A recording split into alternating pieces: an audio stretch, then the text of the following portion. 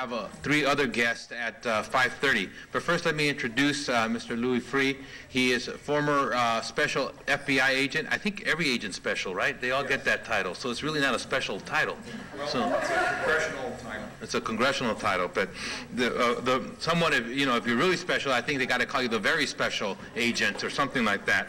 Uh, he became uh, a judge and then became director uh, of the FBI, and he was there during some exciting times, some very interesting things that happened, and we could talk a little bit about that.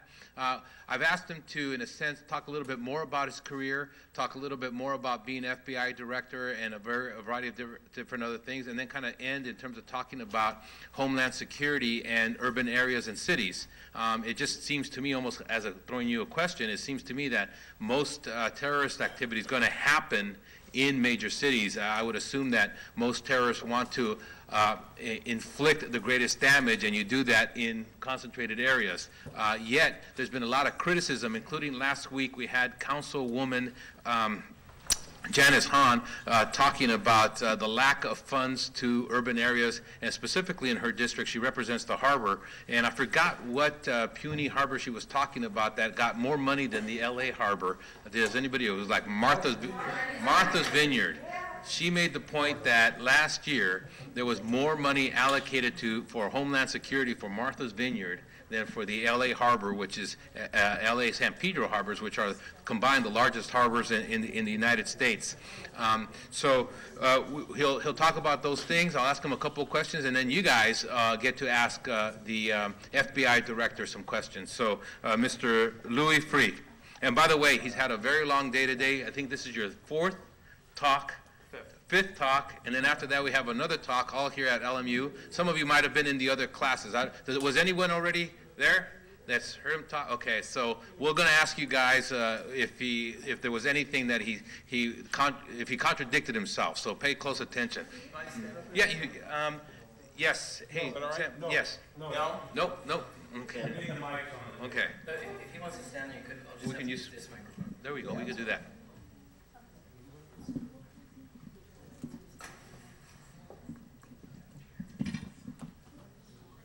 Great, thank you very much. Can you all hear me okay? It's my training as a lawyer, you know, we always stand up when we talk. First of all, we charge more, and, uh, you know, we can talk a lot longer than we can sitting down. Thank you very much for the uh, invitation. I wanted to just really talk for a few minutes, and then hopefully, uh, you can't hear me. I'm switching. You know, we're- we got different kinds of mics. We got mics for the TV. Test, mics test, for, test. yeah, mics for the room, mics for the recording. So they talk about government surveillance. How about that? Can you hear me? Okay, great. Well, again, thank you very much, and um, I understand this is a long class, so I take my hat off to you. Anybody that can go to a class that long on a day like this uh, deserves some extra kind of credit. Um,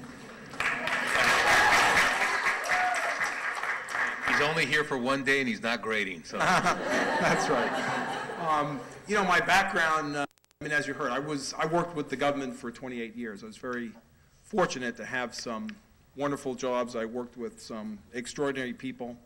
The, um, the best job I had was a 25-year-old FBI agent in New York City working organized crime cases. I couldn't believe people would pay me to go to work every day. One of my first assignments, um, I was in the office for a very short period of time. My supervisor said, "Would you like to work undercover?" I said to myself, "This is great. I've only been here a couple of weeks. I'm going to be an undercover agent." I said, "Sure. What do I have to do?" He said, "Well, you need to join the Shelton Health Club down on Schermerhorn Street in Brooklyn Heights, right across the river from Manhattan, and work out every day." I said to myself, "This is wonderful." I said, I'm going to join a health club and work out every day. I said, well, what do I have to do there? And he said, well, there's a guy there named the Big Mike Clemente. And Big Mike was, uh, at the time, about 75 years old, senior member of the Genovese organized crime family. New York has five organized crime families. They don't count the Sopranos. They didn't count them then. They don't count them now. Um, and Big Mike had made uh, his bones, which is the term in the uh, mafia, which, by the way, is a politically correct uh, name. There are some people who said, well, you know, you can't say mafia. It's, uh, it's not correct. It's not uh, appropriate. The, uh, I was interviewing uh, a very senior ranking member of organized crime one day, one of the most powerful uh, members uh, in its history, Tommaso Buscetta. This was years ago, and I said, well, what do you guys call yourselves? And he said, the Mafia. So uh, it is an appropriate uh, term. My job was to um, surveil one big Mike Clemente. And Mike had uh, taken control of some of the labor organizations in New York City, the Longshoremen's Union that controlled the docks. And that was a very powerful leverage for him because by controlling the unions, he could extract uh, money out of the shipping companies because when a ship stays in port, it's very expensive, and if labor slows down, uh, it costs them more money. So people would come in to the locker room uh, and give Mike money. That's where he collected his money. But he did it in a fairly unusual fashion. Uh, many, many years uh, past, uh, Michael had been arrested, convicted on FBI cases because people wore secreted recording devices, thereby getting evidence which led to his convictions. So at 74, to avoid this, uh, he decided to take some countermeasures. And the countermeasure was uh, he would only take money from people in the sauna if they had no clothes on. And he had no clothes on.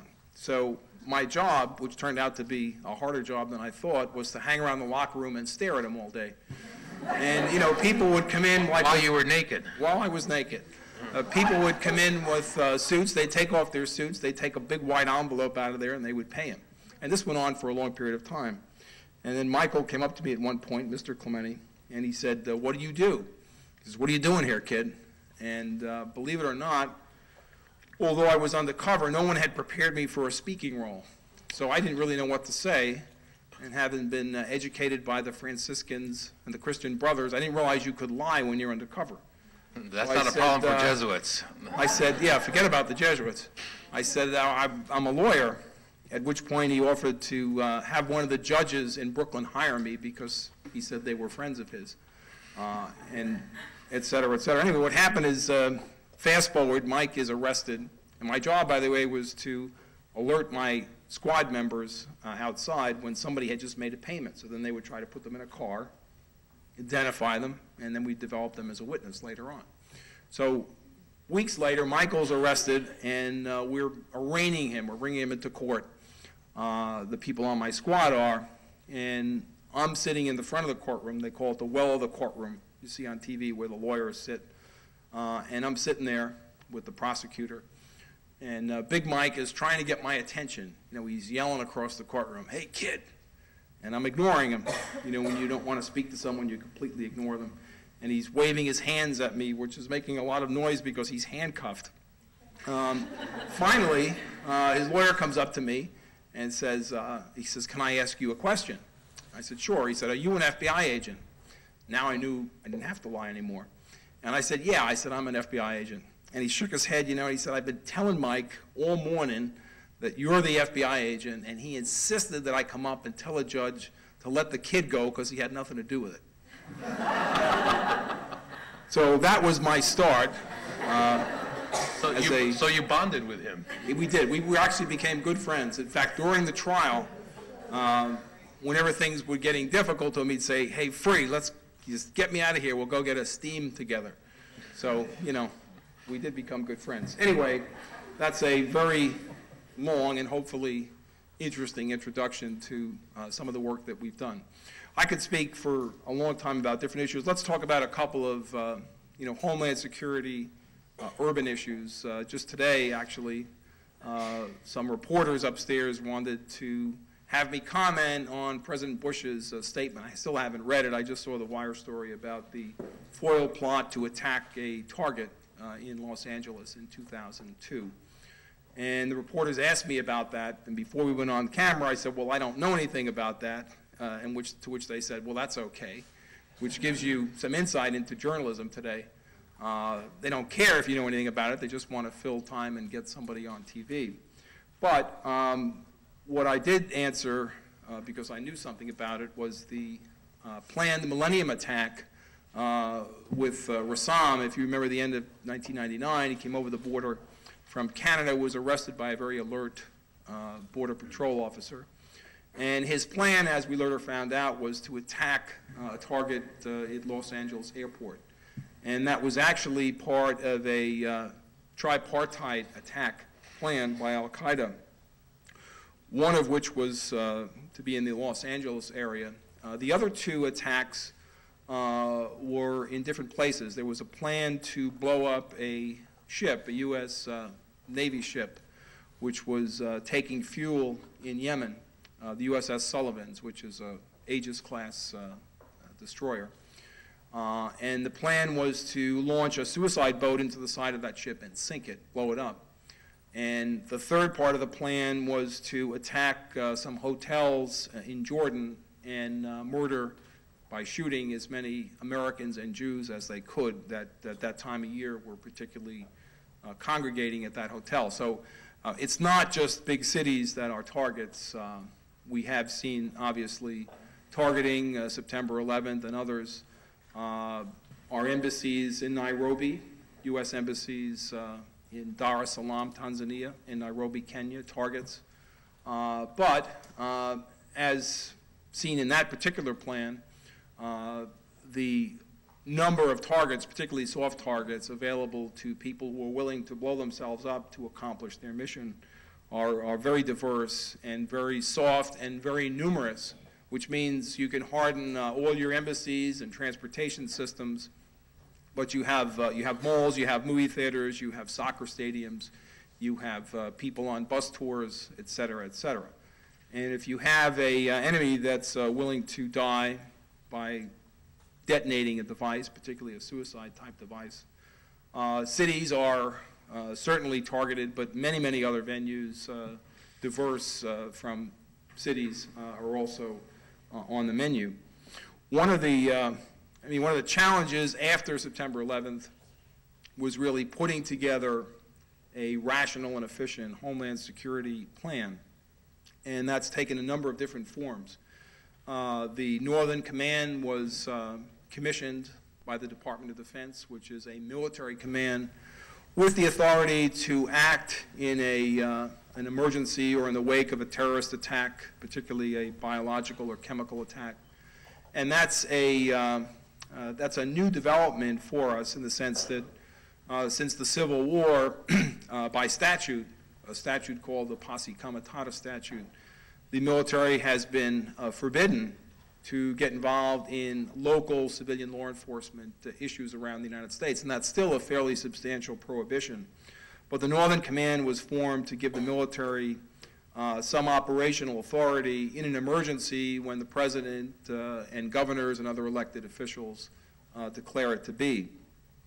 But to give you a, uh, a sense of how complex this is, the Homeland Security Department, which, uh, except for the Pentagon, is the largest single uh, federal agency ever constituted, particularly one dedicated to a law enforcement mission.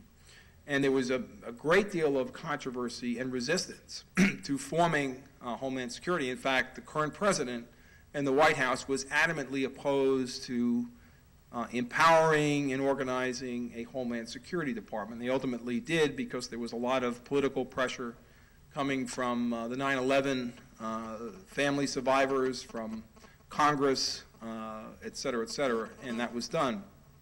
But Homeland Security Department is 22 separate agencies, including the uh, United States Coast Guard, the Secret Service, uh, and 20 other uh, federal agencies. And the integration of that um, department will take many, many years. The current secretary, who was a prosecutor with me in New York, Mike Chertoff, has said that the integration of that system will take many, many years. And one of the important concepts and repetitive uh, events we see in our homeland security, but particularly in our history with respect to law enforcement uh, and urban uh, you know, venues are very, very important here is we have, um, we have as a nation resisted uh, national police force. There is no national police force in the United States, which is an anomaly. If you've traveled uh, any place, Mexico, Canada, uh, you could probably name the country, there is a national police force. And when I was in my other job and my counterparts would come here from other countries, they would sort of scratch their head and they say, well, you know, are you the national police? The FBI is not the national police. There uh, are less FBI agents than Chicago police officers. And that's not because uh, we don't think we need more agents. It's because going back to the 18th century framers, uh, there was a great resistance to a national police force for a lot of reasons. One, the uh, British soldiers who were here during colonial times were the police officers, and when the, uh, when the revolution uh, proceeded and succeeded, uh, they didn't want to have police. And if you, you know, think of the, uh, the concepts and the ideas and the fears of the framers, uh, George Washington said that the greatest threat to the country was a standing army. This was a military officer by training who had commanded the Revolutionary Army and defeated the British Army, the most powerful army in the world. Thomas Jefferson disagreed with him. He said the greatest threat to the country was a central bank, uh, et cetera, et cetera. Uh, many people and many scholars have commented that uh, one of the reasons that Washington, D.C. was selected for the capital, it was a swamp when it was selected, was because they really didn't want a central government uh, in, uh, in Congress because they thought that's when the country was under the greatest threat with respect to people's liberties, when the central government was trying to manage their lives. Now, we've ceded to a national army, we certainly have ceded to a national bank, but our law enforcement structure, our homeland security uh, defense, which is very relevant to the topics you're studying, is still an 18th century concept uh, and an 18th century model that uh, is not uh, survives because we think it's efficient. If you brought in a, um, you know, a junior management consultant and said, look at this plan, you know, we got 18,000 police departments in the United States, 800,000 uh, state, local, and federal police agencies. We got 38 federal agencies involved in law enforcement, most of which have overlapping jurisdiction. Uh, where I grew up in Jersey City, uh, there are new towns every five or six blocks. Uh, so there's new mayors, new police chiefs, different radio frequencies. So the police departments, even at this late date after September 11th, can't speak to each other in a 10 square mile radius. And again, the reason for that, and the consultant will say this system is ridiculous. It's dysfunctional. Uh, if you centralize it, you could save billions of dollars, literally billions and billions of dollars, more efficiency, more synergy, uh, real-time analysis, response, et cetera, et cetera, et cetera. But the fact of the matter is, much like our educational system, which is why there's fierce resistance in some quarters to national standards of education, we like our school superintendents and our police chiefs to be local, uh, where they're accountable uh, because of the enormous impact they have on our children uh, in terms of educators, and our liberties and our safety in terms of police. So the people in a town want to be able to have the mayor come into a town meeting like this, and, and, and why are there two why were there two accidents at that particular intersection? In other words, they don't want to deal with a huge, uh, faraway uh, bureaucracy, and that's part of the uh, obstruction, uh, both historically and ideologically, to a Homeland Security Department. Why do we want to put all this power in one place, where they're responsible both for hurricanes uh, and terrorist attacks? And combining them and integrating them is going to take uh, a long, long time. Uh, in this city particularly, I mean, the transportation infrastructure, uh, the, uh, you know, the, the, the diversity of this city, I mean, I think it's been called the most diverse city in the history of uh, civilization. Um, you know, how do we make it more efficient? Well, I saw in the paper today to put a extension on one of the uh, light rail systems. It'll take $5 billion in 15 years. Uh, you'll all be retired by the time that uh, line is running. Um, managing threats, uh, all the different law enforcement agencies, federal, state, and local, uh, that have to be in sync, not only to correctly collect information, but to analyze it quickly, to be able to take advantage of uh, archives and information, all the related privacy issues, all the sharing, information sharing issues. That was one of the questions the reporter asked me, why uh, did the president announce today that uh, there was a 2002 plot against the city building? And I don't know what the history is. I don't know, uh, and I'm sure we'll find out in the day or two to follow uh, what the history is. But the, uh, and I'll end here, the Homeland Security matrix, you know, is not uh, a simple or certainly inexpensive endeavor. Uh, We've spent billions and billions of dollars uh, since September 11th. And the question is, are we safer today than we were prior to September 11th? And I think the answer is not a simple soundbite, uh, yes or no. Uh, We're better prepared and better secured in some areas. We've hardened many of the targets, but there are, as I said, so many uh, options to harden targets uh, that if you have someone that's willing to die in an attack, uh, you can't possibly protect and harden all the possible targets.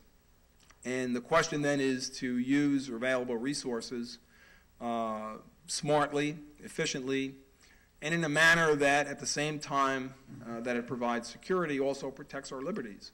You know, in, uh, in many uh, cities in Europe, uh, particularly in Switzerland, uh, you know, you walk down the street and there are cameras everywhere. You won't see them, but everything is being recorded. Uh, and, you know, when you check into a hotel at night, the police come by on a regular routine and take all the information with respect to the people who are checked in and put it into a central file.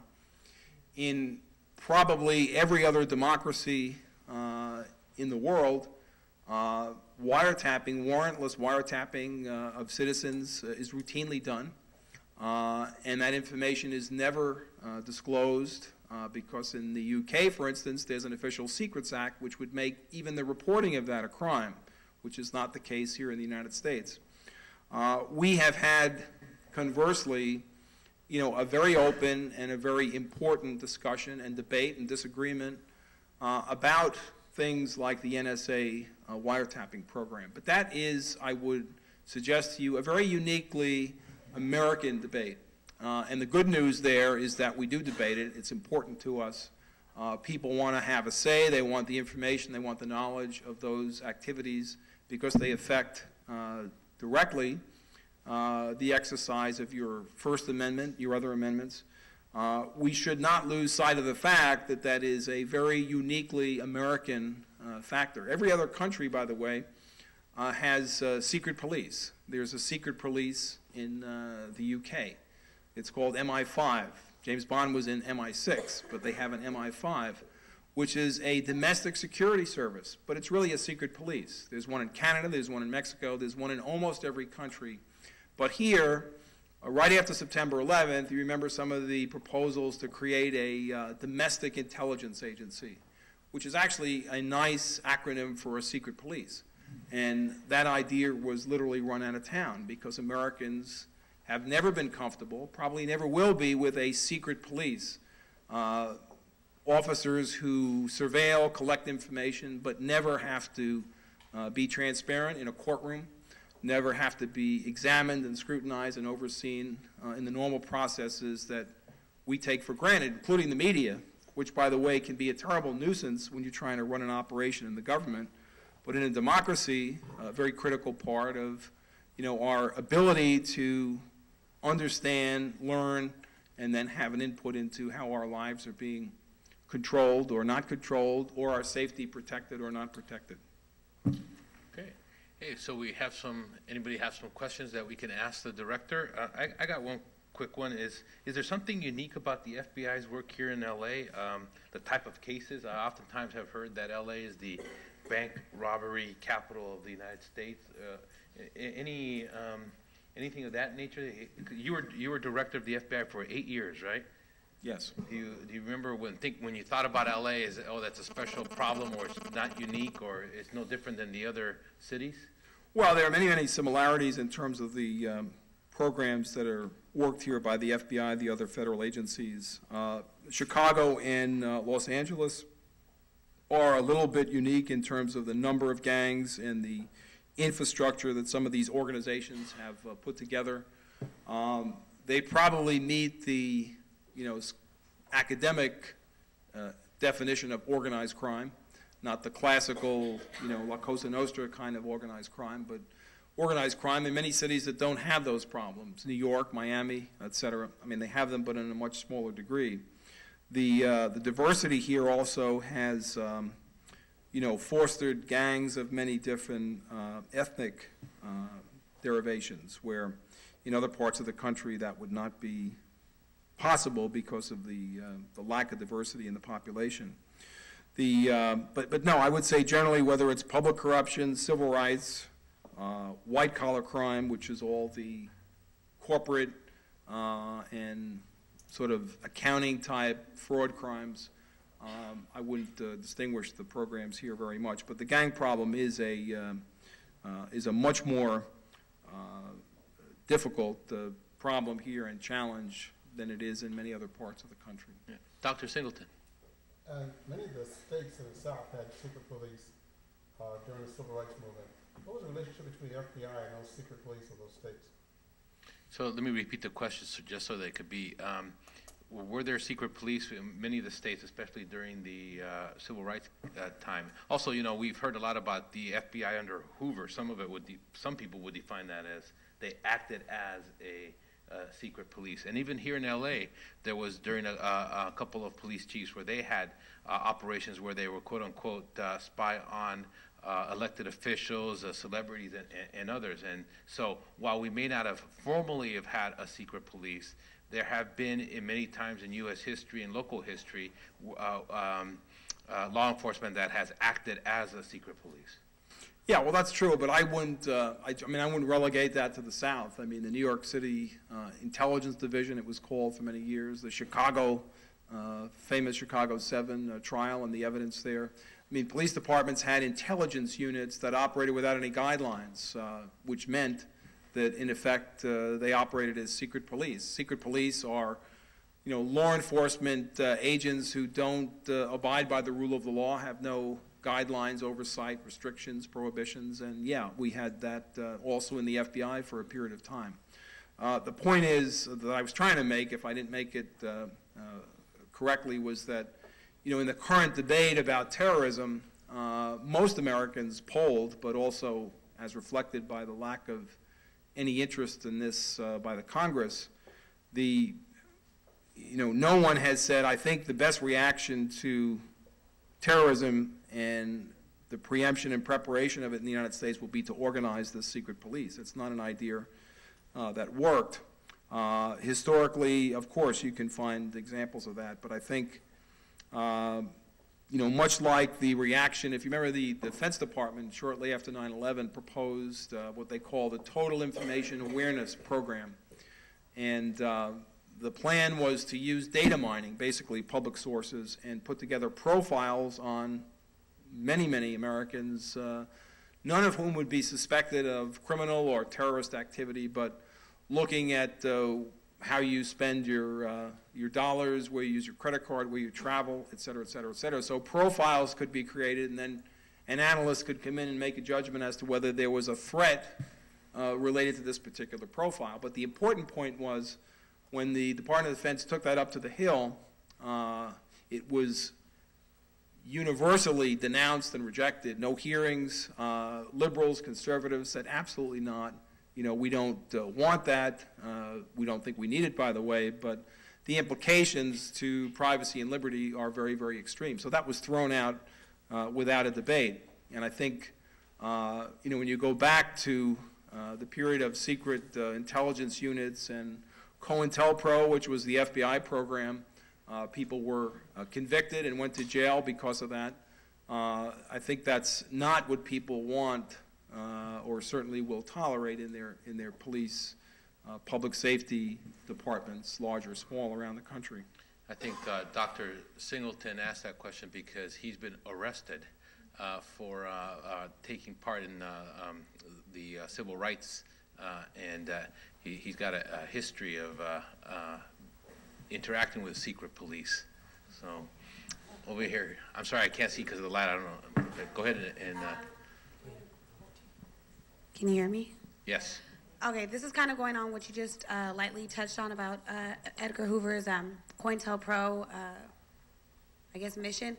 What do you have to say about um, all, I don't even want to say rumors because I feel like a lot of it has been legitimized about um, J. Edgar Hoover's uh, somewhat racist tactics of inciting violence, like within um, Oakland PD versus, I guess, the Black Panther Party, and then sending agents to infiltrate other civil rights organizations like that, and um, the wrongly convicted and the mass murders of different um, civil rights organizations. I mean, Well, I'm, s- Go yeah, ahead.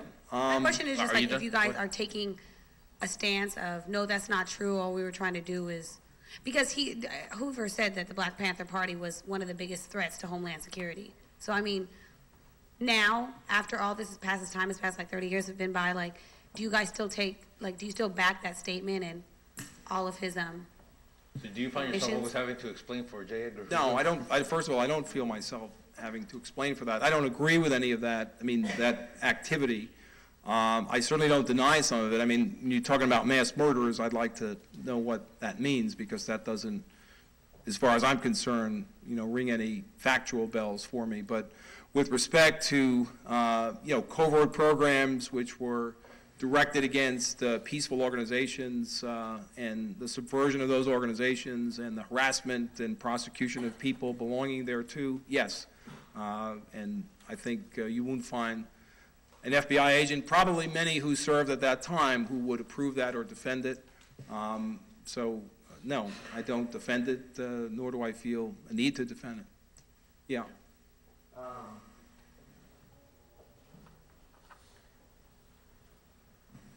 And we're using the mic mostly, mostly Guys to hear me? record it than anything else, 'cause- Um, all right, Go thank you for coming, sir. Uh, my question is uh, to kind of get your opinion on the situation going on right now at the administration with the idea of, uh, I guess, the illegal wiretapping, that kind of thing, in regard to Homeland Security, and maybe how you feel about uh, what they supposedly did or did not do.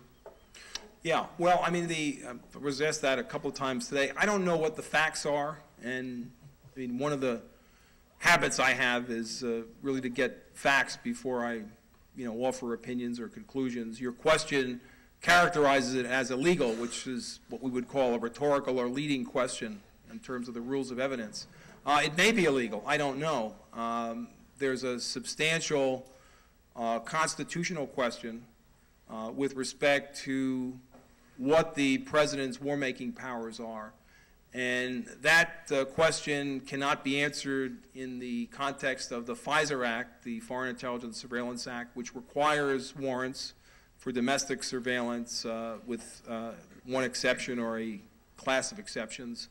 Um, I don't know what the answer is because we don't know what the facts are. Unfortunately, you know, we can't uh, learn the facts. I don't know how that program was conducted, whether it was narrowly defined, uh, whether it was uh, broadly or uh, over uh, extended.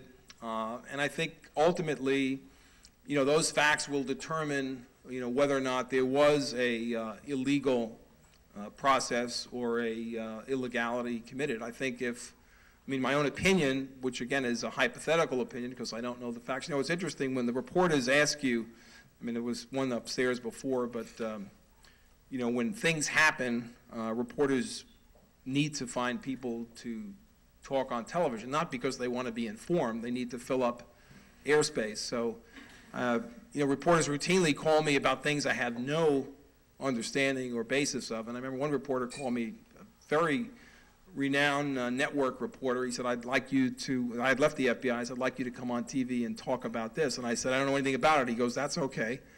And I said, well, that's one of the problems with, uh, you know, your journalism. Uh, But, you know, I don't know what the, I don't know that the Supreme Court, this is my opinion, I don't think the Supreme Court will ever narrowly define the war-making war-making powers of the commander-in-chief. And I think uh, as a political question, uh, which is the kind of decision that a court does not decide historically over 200 years, uh, I could not imagine a court, actually any court, Supreme Court, narrowly defining the war-making powers of a president. And the constitutional question, I think, will rise and fall on the scope of that program. You know, does the commander-in-chief during wartime have the need and the constitutional right to intercept the communications of the enemy that is planning to attack you? If you phrase the question that way, most people would say, of course. Uh, if in an attempt to record the conversations of our enemy planning to attack us, we decide to wiretap everyone else in the country, that's a whole different issue. So um, I, I think you need to get the facts, and I think uh, it's important for the government to produce those facts. And, you know, the reluctance is, well, we can't disclose, you know, the uh, program. Well, you know, every punitive terrorist in the world now is on notice that uh, conversations were being recorded. So I think it's important at, uh, at some early stage for the government to explain that, and uh, I think not explaining it uh, engenders a lot of concern and mistrust, and uh, the facts here, uh, first of all, will, will, will not be avoided, so we ought to try to deal with them more rationally and more, more timely. Anybody else? Right, right here. Cornelius, speak nice and loud. Well, you know what? Wait, wait for the, uh, pass. Yeah, pass that. No talking into it as you're passing it. Just um, outside of driving a black sedan and wearing a windbreaker jacket, most Americans don't know what the FBI do every day. What does the FBI do? What cases do you guys handle? And what operations do you guys are unique to Los Angeles that the FBI handles? Yeah, that's a good question. Um, you know, we have about uh, 220 different jurisdictions. These are jurisdictions that the Congress has uh, enacted for the FBI to be responsible for. Uh, some of them you probably have not heard of. Uh, for instance, the uh, Congress uh, several years ago, over my objection, passed a statute called the Deadbeat Dad Statute, which gave the FBI jurisdiction to uh, criminally investigate people who weren't making their support payments, which, by the way, I think is, is a very bad thing and a very wrong thing to, you know, tell the FBI to investigate that jurisdiction with, uh, you know, less agents than Chicago police officers, I don't think is the best use of our resources. But politically, many times, Congress will enact a statute, uh, direct an agency, including the FBI, to investigate it, and of course, never provide any resources, which is a very important uh, process.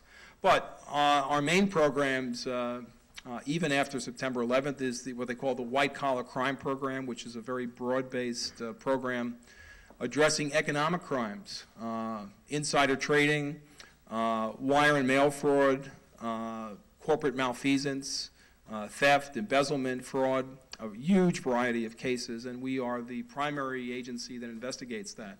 Public corruption, uh, the FBI is the primary uh, law enforcement agency for public corruption. I just left San Diego where they've been hauling people out of City Hall for the last couple of years. Uh, civil rights, the FBI is the agency that enforces the civil rights laws of the United States. Uh, copyright laws, trademark laws, major drug cases, organized crime, uh, child pornography, et cetera, et cetera. I could spend, uh, you know, 10 minutes giving you the recital of our jurisdiction. But what's, um, uh, you know, gang cases, uh, kidnapping cases, bank robbery cases, extortion cases.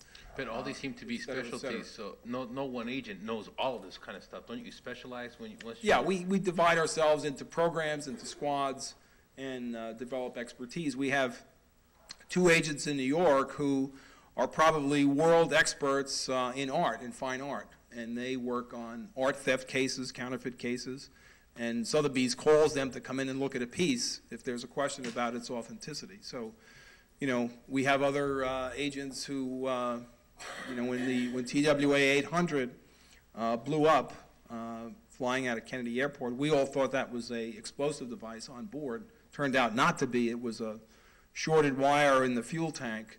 Uh, and, you know, we immediately assigned people to that who had knowledge about that subject matter. I remember I went in to get the briefing, and, um, you know, the agent, the case agent, he looked like he was about 12 years old. And I said, you know, what's your background? He said, well, he said, the director, he says, I have a PhD in uh, aeronautical engineering from MIT. I said, okay, I'll shut up now. Uh, and he had a blueprint, you know, of a 747 and was explaining to me the intricacies, you know, of the aircraft, et cetera, et cetera. Uh, you know, we have Farsi speakers, we have uh, uh, people who can really do undercover work as opposed to what I did in 1975. So they're very, very uh, diverse programs. And one of the criticisms uh, that I have had about the, you know, the movement of large numbers of FBI resources to counterterrorism programs after 9/11 is not that we didn't need those resources, but we've taken those agents from public corruption, from white-collar crime, from civil rights, from gang cases, et cetera, et cetera, and they don't backfill.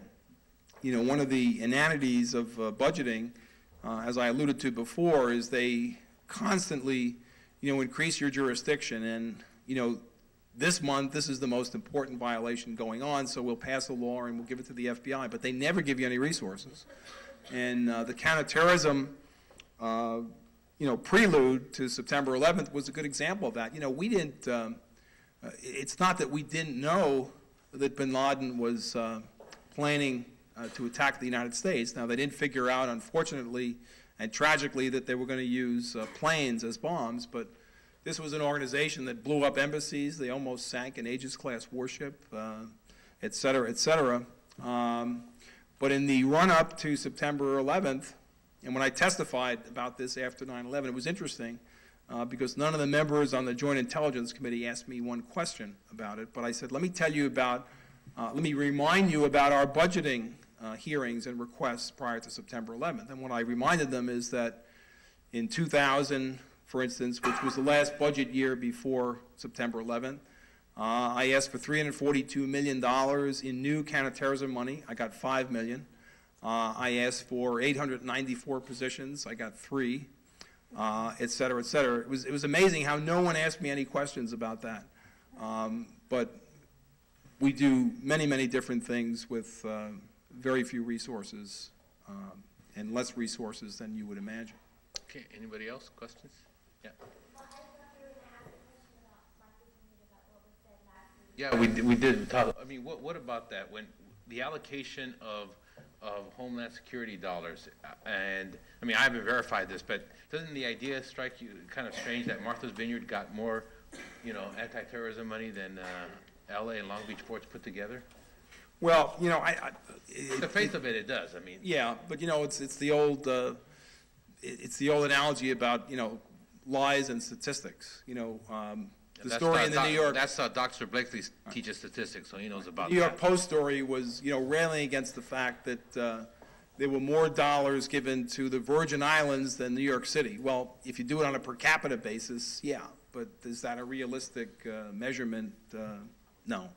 So, you know, are we, are we, are we the best in class of budgeting money? No. But uh, it's probably not, uh, not as irrational as that story would appear. What was your most difficult time as director, your darkest hour? Well, I mean, the darkest hour clearly were uh, several occasions when agents were killed in the line of duty. And, um, you know, in a law enforcement organization like a military organization, those are very traumatic, very emotional, very devastating experiences. And, you know, I unfortunately had to preside over a number of those. Clearly, uh, uh, you know, the worst part of that, uh, of that job, any job in that regard. What was your most politically difficult situation? Uh, investigating my boss for seven years. Um, yeah, we, uh, we had not previously had a situation where the director uh, the and the attorney general uh, had to conduct criminal investigations of the president of the United States. So politically, uh, but more practically, it was a very conflicted situation. So how did, for instance, how did that play out in terms of how, how you ended up doing certain things? Generically, I'm talking about in, in approaching that. If there was no roadmap to doing that because it hadn't been done before. Well, you know, it's a, it's a good question. I mean, actually, the, uh, the roadmap was clear in the sense that we tried to conduct that criminal investigation as we conducted every other criminal investigation, fairly, thoroughly, uh, and avoiding any conflicts. The difficulty came uh, on a couple of occasions where uh, we were investigating a matter that, uh, from a national security point of view, for instance, the Chinese uh, intelligence service inaugurated a plan back in the early 1990s to funnel money, dollars into the United States to uh, put into the campaigns of people running for office, which is a crime. Federal law, federal law prohibits, uh, on a criminal basis, the contributions of foreigners to political elections. And as we investigated that, um, again, a program which was being conducted by the Chinese Security Service, the MSS, uh, we also discovered in the context of that investigation that people uh, in the executive, in the White House in particularly, were complicit to that. So the difficulty, which uh, is important in your question, is on the one hand, we needed to brief uh, the White House on this campaign, a foreign government trying to influence an election. But the normal dictates of criminal investigation is you don't give information to possibly the subjects or targets of the investigation. So the Attorney General and I, Janet Reno at the time, had to tailor and redact the kind of briefing that we would not normally need to do in a non-conflicted situation. So those were difficult and complex things to Yeah, there was a question right here. Yeah, go ahead. Can't tell. Hey, um, first of all, I want to thank you also for coming. But second of all, I want to say it seems like there's a lot of policies or laws that maybe are more political than practical sometimes. And I want to say that which one law would you change if you could personally change one law that the FBI you think would be able to function more efficiently if you had your choice of one? Yeah, that's a, that's a great question. I mean, I'll give you a couple of examples um, where we did change the law because we, um, we thought it was important, and um, the situation without that amendment was very difficult. Um, I'll give you two examples. One, uh, when I was newly arrived at the FBI, one of our biggest uh, white-collar crime programs was healthcare fraud, uh, not just on an individual basis, but uh, companies, uh, groups of doctors, groups of lawyers, uh, just um, defrauding Medicaid and the federal government out of billions of dollars because of fraud and double billing and all that. And interestingly, there was no statute that was specifically uh, addressing uh, healthcare fraud. We were investigating and charging people under mail fraud and wire fraud statutes, which means if you send a document through the mail that has fraudulent materials, it can become a federal violation. Or if you use a uh, wire communication to commit a fraud, that becomes uh, jurisdictional. But there was nothing that was really designed to deal with what was now a multi-billion dollar uh, crime uh, with respect to the United States. So we sat down and we uh, we wrote basically a health fraud statute, and it passed, and now there's a health fraud statute specifically relevant to that. Another one was um, the um, uh, patent and trademark intellectual property uh, statutes that uh, existed on the state level, but if you were stealing trade secrets, there was no federal crime. Again, you'd have to use wire and mail fraud conspiracy cases to make those um, uh, bring those cases in court. And we found out that, uh, for instance, many foreign governments uh, were using their security services in the United States to steal uh, pharmaceutical information and uh, uh, chip information, and then they would use that information and produce the product uh, overseas, eliminating the research and development, thereby competing fatally with the American producers. So that statute we wrote and it was passed. Um, you know, there's a lot of statutes uh, on the books uh, that need amendment, that need uh, updating and changing. The wiretap statute is a perfect example. I mean, one of the issues about the NSA program and the failure to adhere to the FISA statute is a technical issue. You know, when that statute was passed, uh, we had an analog uh, communicative network, not a digital one. So the time requirements uh, and uh, complexity of applying for warrants in the digital environment are completely different than what they were when the statute was passed. So, you know, that, uh, that needs to be addressed and, and updated. And the chairman of the Judiciary Committee yesterday um, said he was proposing a bill that would in part uh, do that. Yeah, over here.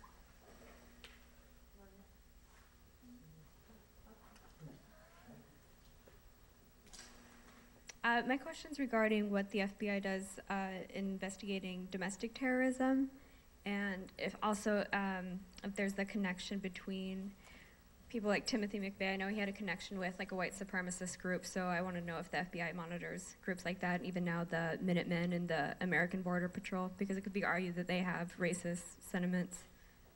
So.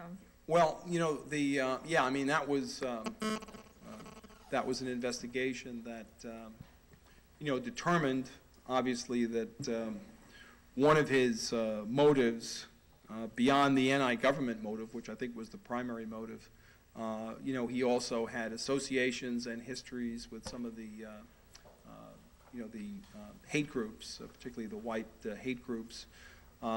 Moody, Walter Leroy Moody, who I prosecuted, blew up a federal judge in Alabama and a NAACP leader in Savannah, mail bombs. Uh, you know, had a racial animus. He was a terrorist by everybody's definition. Uh, the Unabomber uh, decided he was going to blow up anybody who was uh, remotely associated with computer science because he thought that was a bad thing. So for 16 years, he blew people up with mail bombs. Um, you know, the uh, Rudolph, whose animus was directed against the abortion clinics, you know, acted uh, not just in Atlanta, but in Birmingham, killing uh, several people in the process. Uh, Some of the, um, you know, the militias, the, uh, the white hate groups, the Aryan nations were convicted. The FBI took all their property, uh, basically put them out of business by forfeiting all their assets. Uh, The militia groups, which right after Oklahoma, the bombing in Oklahoma, we were very concerned about. But the investigations uh, pretty much disclosed that beyond their rhetoric, they weren't uh, a threat, they weren't going out uh, and violating anybody's rights or risking their safety, and we basically left them alone.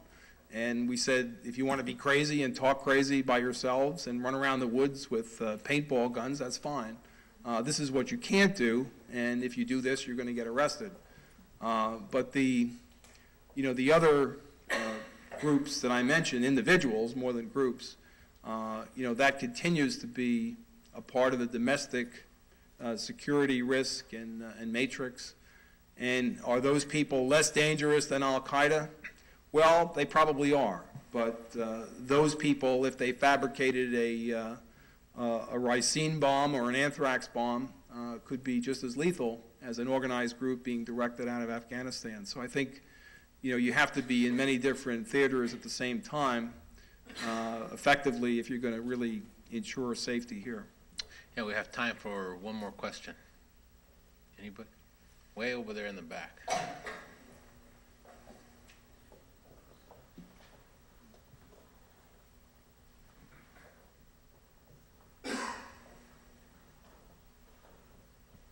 Hi, um, I just had a question because on Monday, um, actually, when we had the court hearings and, um, and Alberto Gonzales said that obviously when we were talking about um, the wiretappings and how necessary it was and vital for the national defense. So I was just wondering if you um, could give us like a little, um, some more detail about like what other anti-terrorism like operations that the Bush administration was probably undertaking without court approval. Um, No, I can't. First of all, I wasn't part of the Bush administration, so I don't have any knowledge of that. Um, And again, um, and not that uh, your question is not important, I'm not trying to be disrespectful, but, uh, I mean, I don't know, and again, you know, like one of your colleagues' questions, your question rhetorically assumes uh, the illegality of an operation uh, before a factual response uh, is obtained. You know, in, in my training, we do it the other way around, but um, uh, no, I don't have any knowledge of that, and um, there's no way that I would if, uh, in fact, there was an operation that's not been heretofore disclosed. Well, but there, there are legal issues, there are policy issues, there are operation issues. How effective is wiretapping when you don't really have a target, but you kind of do a broad-scale uh, attempt? It ge- Generically, you having done that, it- it- when you had a, a particular issue and you thought, maybe these people are involved or not, let's, let's cast a white net and try to get something, is, not, not legally question, Yeah. not poli- political, but is it It's a waste of time. It's a, oh. Yeah, it's a waste of time. First of all, even in a digital world, you know, the government doesn't have the resources to do that. Um, When I left the FBI, which was many years ago now, uh, if you added up all the federal, state, and local wiretap orders in the United States in one year, does anybody have a guess as to how many that would be? Anybody, just guess. Give me some numbers, just yell them out. 10,000, anything else? 3,000? No, just three, someone. Three, okay. 100,000. 100,000? Okay. Less than 2,000. Uh, And the reason for that is very simple. Um, The resources don't exist, even in a digital world, to uh, conduct just the implementation of a program like that. The federal wiretapping statutes, uh, Title III of um, uh, Section 18, you know, make the government um, uh, jump over an enormous burden to get uh, a federal judge to sign a wiretap. I got them to sign them as agents. I got them to sign them as prosecutors. I signed them as a federal judge. The, uh, the requirements are enormous, and you can look at the statute online. You have to show that there is no other investigative means that will be successful. You have to show with probable cause that that specific modality, whether it's a phone or a PC or a, um, a social club on Mulberry Street, is uh, a place where people are talking about crimes. You have to uh, put in minimization procedures, which means if you're recording our conversation, we usually talk about murder, but we're going to talk about the Super Bowl today. You have to turn that off. You can't record that. You have to report to a judge every seven days. You have to give the tapes into court, et cetera, et cetera, et cetera. You can only do it for 30 days, and then you have to justify an extension. The um, uh, person power requirements are enormous for that, which is why there are less than 2,000 done. Uh, Well, go- I'm sorry. Go ahead. So, but to answer your question, no, it would be, it would be foolish and a waste of time, in my experience, to just sort of throw a net out there and, and see who we can uh, talk about. But there are things that are very critical and very targeted. For instance, uh, bin Laden was using a global satellite phone in Afghanistan to communicate. This was before uh, September 11th. And he would talk to his lieutenants uh, on a phone line, uh, which the NSA was able to intercept. Uh, and then one morning, he read in Time magazine that he was using a global satellite phone, and he stopped using it. He threw away his phones, and they never used another telephone uh, after that. So that was a very uh, dangerous and counterproductive uh, piece of the operation as it developed. But you have to target that stuff. It's, it's foolish, a waste of time, and illegal, by the way, to do it on any other basis. Of the 2,000 approximate uh, cases, what would be your estimate that uh, they were effective or led to prosecutions or helped with prosecutions? I don't know the state and local statistics. In the federal uh, wiretapping orders, about 90% of them resulted in evidence that was used at a trial. Well, we've run out of time. We want to thank Mr. Louis Freeh for uh, being here, being our guest.